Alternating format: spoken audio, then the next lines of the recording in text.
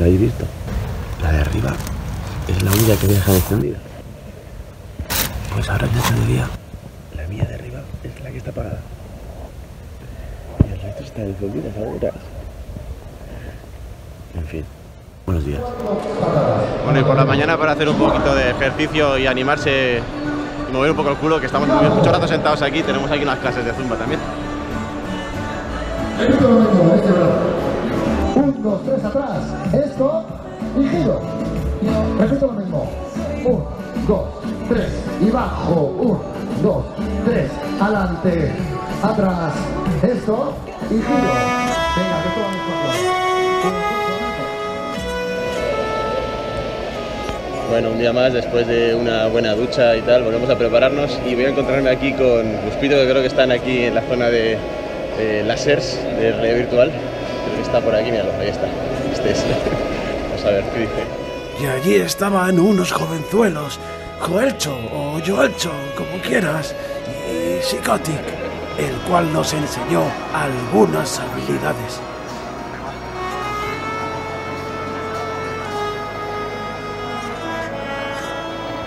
La roto. Y por supuesto también charlamos, intercambiamos historias.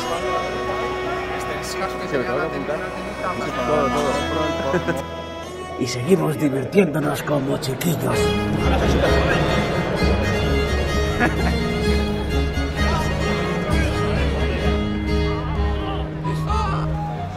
Luces de colores, botones, estímulos por todas partes.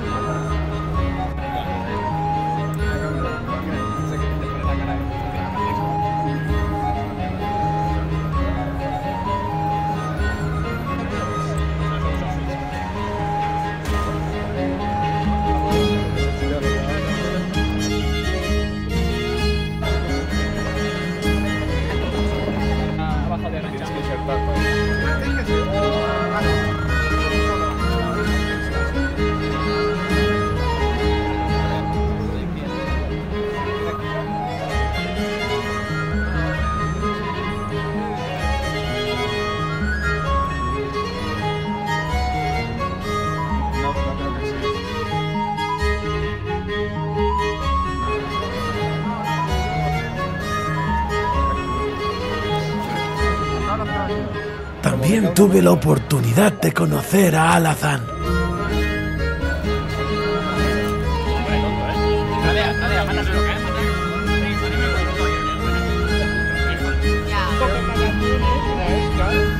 Buenas, señor, ¿cómo estamos? ¿Qué tal? El que sabe, sabe, el que no, pues... Gracias por venir a buscar.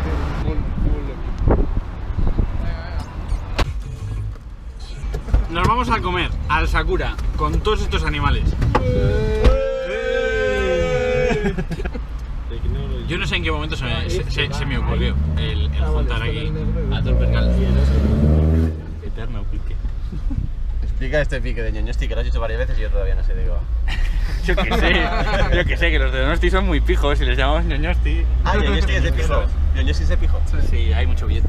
O sea, el típico pique de... Como los de Valencia con los de Alicante. Vale, o sea, vale. así de, no, pero ah, pues ñoñosti me sonaba como a ñoño, como... Sí, sí, claro, claro, es que es en plan pique, en plan, en plan para tocar Vale, los vale. cojones, eh, claro, sí, sí. Eh, los- las provincias, las típicas que está la provincia al lado, pues se pican con el pueblo al lado, ¿no? Es como los de Villarreal, los Sí, de sí, Villabajo, sí, sí. ¿no? Y luego se cuentan los típicos chistes. ¿Te sabes? Dice, que Esa está ¿cómo aquí, hacen en los, los de Bilbao ¿no? el, el Lo Trinidad? hemos pasado ya. A ver, Sí, plantando sí. los naranjos de tres en No, tres. no, no hemos eh. pasado, no hemos pasado. Está más, está más adelante. O, o que hace, o que hace un Bilba, que hace un Bilbao en la carretera Vale, por aquí. con el coche volcado de lado, Ese. Vale. vaciando el Sí, destinación. Luispito, Hostia, enfrente, enfrente del están aquí tú. humillando a Bilbao. Yo creo que deberían de defenderte un poco con algún chiste de Donosti. Bueno, baneados del chat directamente. Pero si tú no mandas en tu chat. Bueno, bueno, bueno. Como se ponga el. Como me. Manda Sony, manda Sony. Tú no mandas. Bueno, a ver, ¿eh? ¿Quién manda quién? ¿Quién manda? Ya me he quedado sin moderador ya. Tú no mandas. Que la tenemos. Buah, cojo al bot ahora mismo, le digo que deje de repartir Buscoin y se acaba. ¿Algún chiste de Donosti? Eh. no sé ahora. Eh. No, no sé, no sé. Gana, gana Donosti. eh. Este. ¿Qué, qué han dicho? ¿Qué han dicho? Ah, No, hombre, que yo no lo he oído. El del Trinaanjus y el de vaciar los ceniceros. El de me suena. El de, el de los ceniceros. Plantar los naranjos de tres en ¿Tú, tres. tú normalmente cómo vacías los ceniceros? Volcando el coche, ¿no? O sea, volcando así de lado el coche, ¿no? Como- además lo, lo levantas a mano ahí. Vale, vale, vale. ¿Sabes lo que pasa? Que me gustan mucho. Eh, está puesto el antiniño, no puede salir ninguno. Venga, eh. Hostia, pues además es verdad. ¿A nombre de Ah, quién? ¿A falta el Wormy, falta el Wormy. Ah, Y Andrea. Y Sakura son los árboles, tío. Eso es de Japón. Todavía no conocéis al Wormy, ¿no? No. Ese es el tío más tímido que hay. ¡A comer! Pedimos comida como si fuera nuestro último día en la tierra. Una fuente que te es mesa, te pones a comer un loco y se acabó.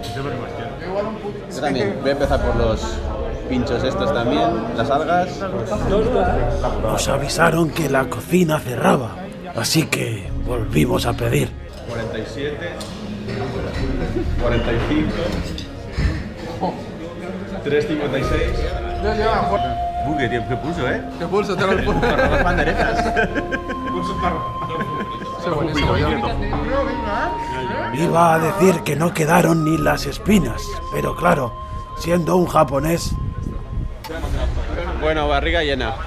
Volvemos a- al lío.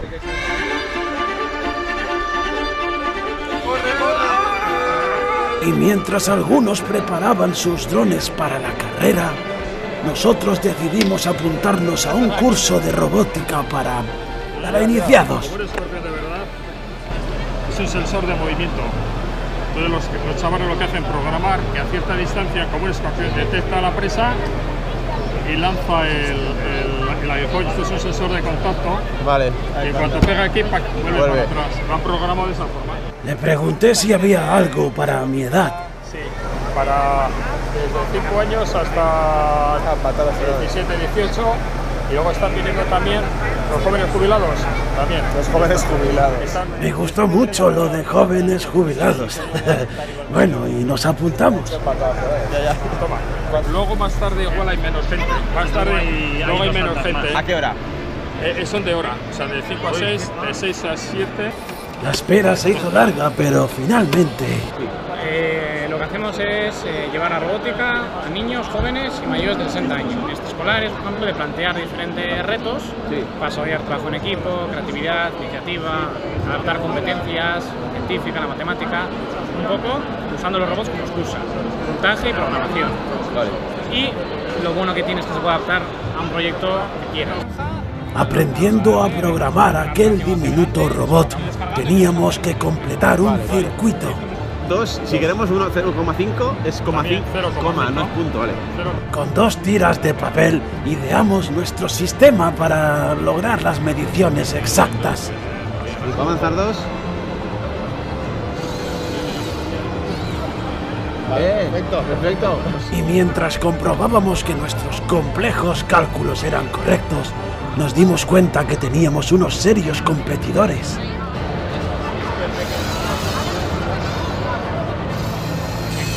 Bueno, nos hemos ido ahí. ¿Esto, esto? Esto es la recta. Pero eso es. ¿Y por qué tiene CB? inicial, curva, siguiente recta, curva. Ah, vale, no, la, Sí, ah, vale, sí, sí, sí. que tenemos que cambiar la regla. Hemos quitado menos. Resulta que teníamos un tiempo determinado para completar todo el circuito y conseguir la programación perfecta. Todo afuera, ¿eh? Oh, ese menos. Vale. Uno. Uno porque piensa que cuando. No, no, pero el uno es un y medio del giro.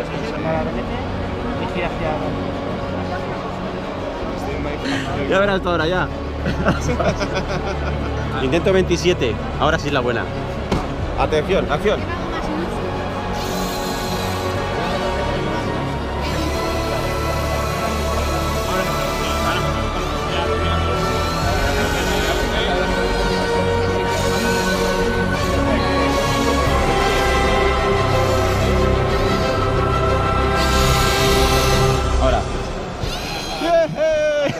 Por muy poco, pero finalmente conseguimos ganar a los jovenzuelos. Y nada, jugamos un poco al pinturillo y después... Buena Gracias. Oye, ¿cómo funciona si pedimos y tal? ¿Lo traéis Viene, aquí? viene hasta aquí, tú sales y lo. ¿Y pero llama o algo antes de cuando llega o cómo? Claro, Vale, vale. y tú sales. Vale, perfecto. Pues gracias. Son las 9 del día 27 ya del viernes. Eh, hemos parado un poquito para intentar planear la cena, pero está haciendo un poquillo de lluvia y hace un poquito de fresqueta y hemos dicho, bueno, Calabobos, y como nosotros no somos muy listos, pues mejor nos quedamos aquí. como aquí en la puerta nos dan unos papelitos para poder pedir y estas cosas, pues vamos a intentar decidir qué vamos a pedir. Eh, luego cuando llegan te lo traen aquí, como habéis oído en el vídeo anterior, y saldremos a buscarlo.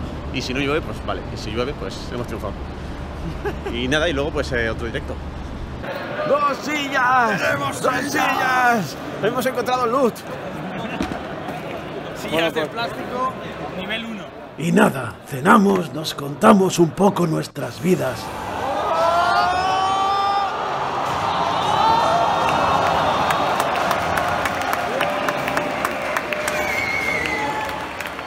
Vimos el final de alguna competición.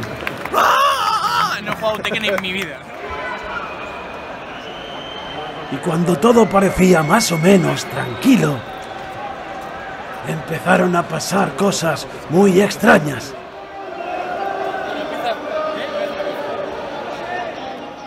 La revolución de las sillas, creo que le llamaban. Parecía consistir en reivindicar la aparición del gran dios Gandalf, a la vez que se tarareaba su gran himno.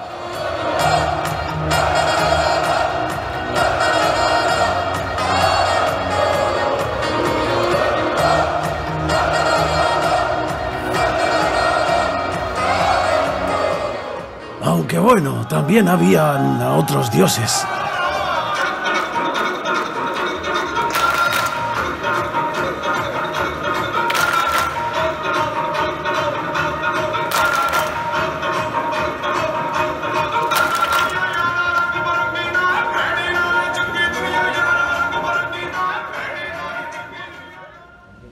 Nada, son las 6 de la mañana. Nos vamos a dormir un rato. Mañana último día, en plan.